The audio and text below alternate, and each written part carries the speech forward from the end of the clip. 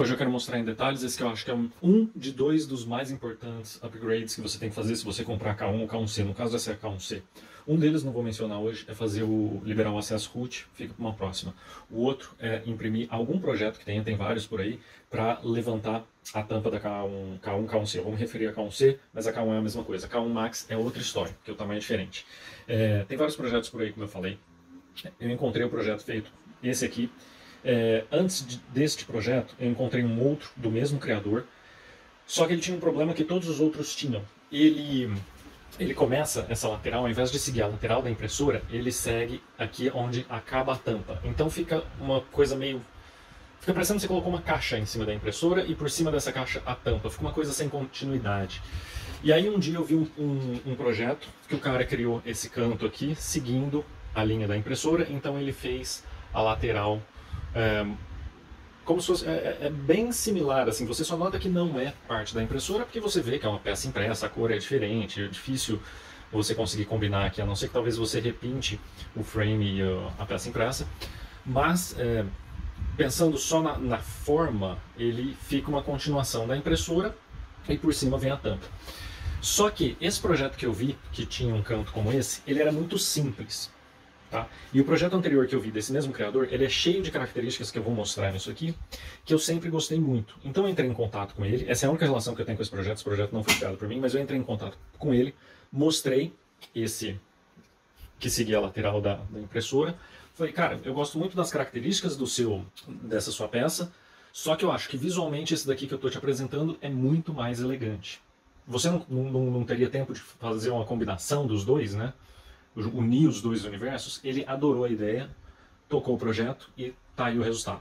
Então, que eu gosto muito disso. Bom, além da, da parte estética, que é, é legal, mas assim, pô, tá, tudo bem, vai, esteticamente, digamos que é o menos relevante. O, o, o, o que motiva a pessoa a imprimir isso não é para deixar bonito, mas sim para resolver alguns problemas que a você tem. Então, o que eu gosto muito são essas aberturas, tem nas quatro, as quatro laterais, inclusive você pode abrir só parcial, para controlar melhor a temperatura interna. Tem do lado de cá e tem na parte de trás também.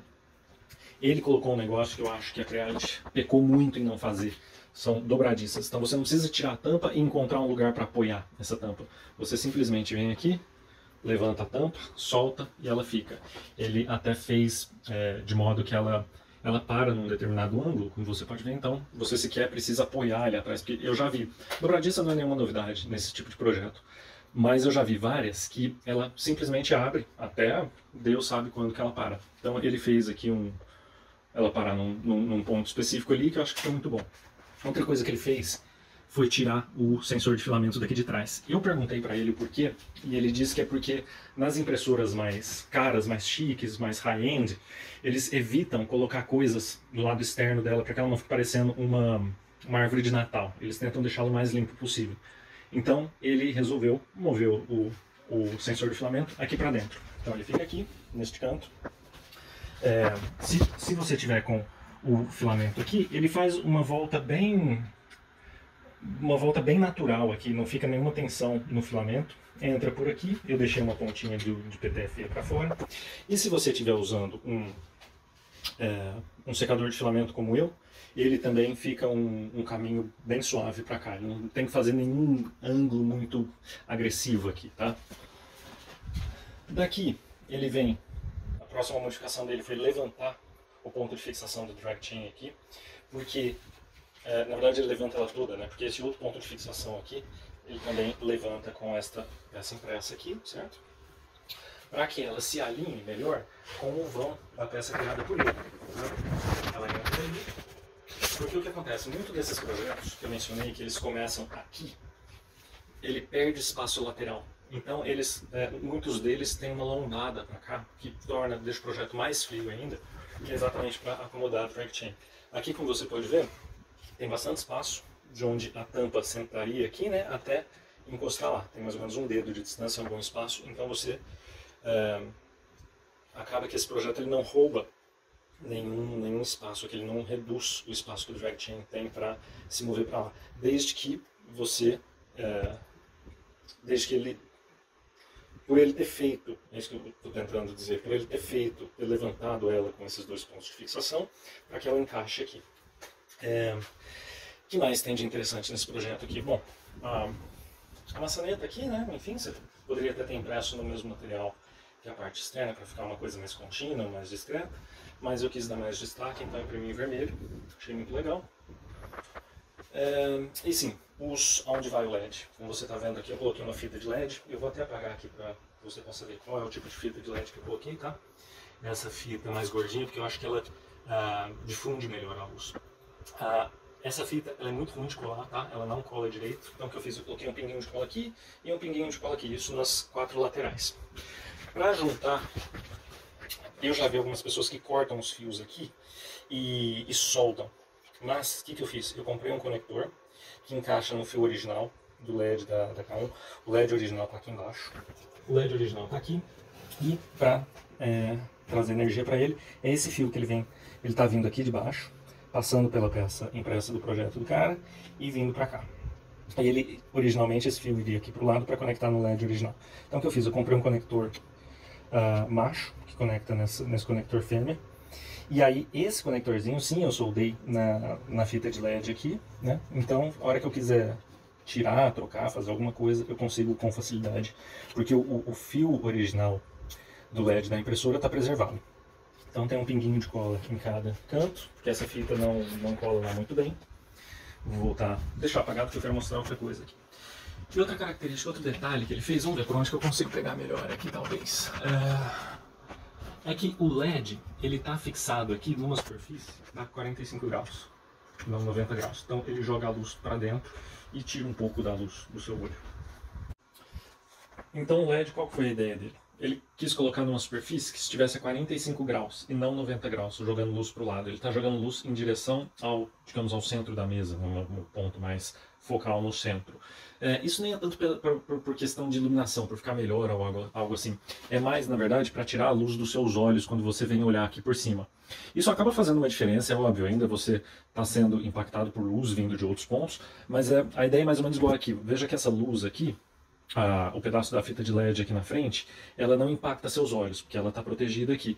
A da lateral, ela está um pouco mais protegida também, porque ela está nessa superfície a 45 graus, ao invés de ser uma superfície a 90 graus. Se ela tivesse por exemplo, nessa superfície lateral aqui, que está a 90 graus, essa daqui, essa parede vertical, ela impactaria muito mais os seus olhos do que estando aqui a, a, a 90 graus. Inclusive, é só porque ela está descolando um pouco aqui que você consegue ver essa fita. Caso contrário, você nem veria. Eu poderia até ter colado um pouco mais para baixo. Ela, essa parede aqui, ela tem, deixa eu pegar aqui, ela tem espaço aqui para baixo, certo? Daria para colocar um pouquinho mais ali para dentro. Só que o problema seria aqui, ó. Chegando aqui, ela tem que passar bem aqui em cima por conta desse, desse conector. Eu acho... Né, é, passar ali seria um risco, viu? Eu tô tentando analisar que eu não tinha reparado nisso antes. Não sei, tal, olha, tô pra te falar que eu acho que dá pra ela passar rente ali sim, viu? Mas enfim, teste aí se você for fazer antes de colar. Eu colei ela mais na parte, na, na, na, borda aqui de cima. Talvez eu vá até colocar mais algum pinguinho de cola aqui e ali. Mas tá, tá fixa por enquanto. Tudo isso que vocês estão vendo, eu imprimi em ASA, tá? É, tem que ser ASA ou ABS. Eu tinha feito em PLA de teimoso e essa peça estava amolecendo e soltando e essa aqui também não aguentou. Então eu tive que tirar e reimprimir tudo. É, e depois de imprimir em ASA, está suportando sem problema nenhum. Por que, que o PLA amolece? Primeiro porque ele não tem resistência à temperatura. O PLA, se você deixar no sol, dentro do carro, num dia quente, alguma coisa assim, ele vai amolecer. Ele não precisa de uma temperatura muito alta. Por volta de 50 graus Celsius ou até um pouco menos, ele já começa a amolecer. E se você vai imprimir uma peça dessa, provavelmente é porque você precisa manter a sua impressora fechada durante a impressão. Eu duvido que alguém imprimiria isso, esse projeto, só porque fica bonita a impressora. É, se eu só imprimisse em PETG e PLA, por exemplo, que são dois materiais que não precisam de, de impressora fechada, eu nem imprimiria isso aqui. Eu deixaria a tampa ali, a porta fechada para proteger de poeira enquanto eu não estivesse usando. E quando eu fosse imprimir, que é o que eu faço quando, nos casos que eu resolvo imprimir PETG e PLA, eu abro a porta, deixo ela toda aberta, retiro a tampa e deixo ela ventilar o máximo possível. Agora, como eu estou migrando mais para o ABS e para o ASA quando necessário, é, esses materiais, e de vez em quando nylon, esses materiais eles têm que ser impressos em impressora fechada. Ela tem que estar desse jeito que você está vendo. E a configuração que eu faço, que eu uso é, quando a temperatura interna atingir 50 graus Celsius, de 45 a 50, varia um pouco, liga aquela ventoinha. Aquela ventoinha vai tirar o ar quente dessa câmera para evitar que a temperatura continue subindo, subindo, subindo. Vai tentar manter esta, estabilizado nessa temperatura que eu defini aí, que às vezes eu uso 45, às vezes eu uso 50 graus Celsius. E essa temperatura já é suficiente para amolecer o PLA, tá? PLA não resiste. Se você quiser arriscar, e aí eu não me responsabilizo, talvez, muito talvez, você consiga imprimir algumas peças em PETG e o restante em PLA. As que necessariamente tem que ser no mínimo PETG. PETG eu estou falando assim, é o mínimo. O ideal seria ABS e o restante em PLA. Eu acho que se você imprimir esta, essa, esta, o ponto de fixação do hot end, o ponto de fixação aqui na parte de trás, essas pecinhas vermelhas que você está vendo ali, tem quatro delas, tem mais duas na parte de baixo, são espaçadores. E, além dessas peças todas, essa peça vermelha aqui de trás. Ah, perdão, a vermelha não, a peça preta. A parede preta aqui de trás. É como se fosse essa peça aqui, ó. Essa peça preta com essas aberturas, só que lá da parte de trás. Porque ela possui vários uh, insertos de metal para onde os, os, parafusos agarram. Se o PLA, por mais que essa peça seja robusta e tal, que talvez ela sobrevivesse sendo PLA, uh, ah, se ele amolecer muito aonde os insertos estão uh, colocados, pode ser que esses insertos comecem a soltar, comecem a soltar, e isso vai uh, afrouxar os parafusos, e essas peças vão começar a ficar bambas. Péssima ideia. Então, assim, não me responsabilizo se você quiser fazer isso, mas eu acho que se você imprimir tudo em PLA, exceto esse ponto de ancoragem, esse ponto de ancoragem, os espaçadores, essa peça preta da parte de trás, as duas dobradiças e a maçaneta, talvez com essas peças que eu apontei em PETG e o restante em PLA, talvez o projeto aguente. Mas, de novo, mínimo, no mínimo, no mínimo, PETG, o ideal é ABS ou ASA. ABS e ASA é praticamente a mesma coisa. Uh, eu tenho notado que as pessoas não conhecem muito a ASA.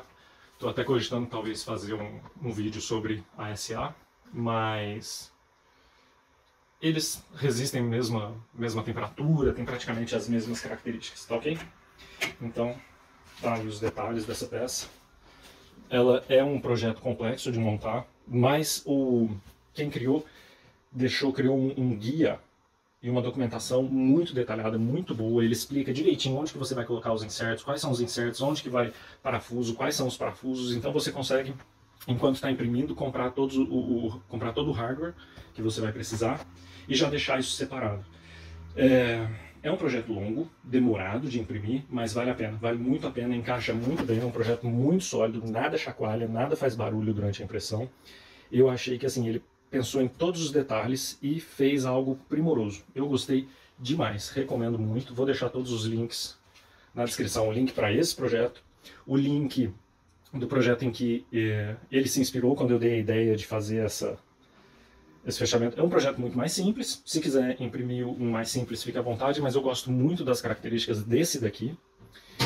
E, e é isso. Possivelmente eu volto com mais detalhes sobre o ASA e em breve com uma sobre a minha, mais detalhes sobre a minha opinião sobre a K1C. Que outras modificações você tem que fazer, porque algumas eu considero obrigatórias. Se você vai comprar K1 ou K1C, saiba que essa modificação, caso você queira imprimir materiais que precisam de uma impressora fechada, essa modificação é obrigatória. E eu duvido que você, que alguém compraria uma impressora dessa, caso não queira imprimir uh, objetos que necessitam de uma impressora assim. Se você só vai imprimir PLA, PETG, esse tipo de material que não necessita de impressora fechada, compre uma Ender V3, que tem peças muito similares e uh, só que ela é aberta. Agora, se você comprar K1, K1C, fazer, imprimir algum desses projetos que existem para levantar a tampa é obrigatório. Eu, particularmente, recomendo esse. Muito mesmo, muito bom mesmo.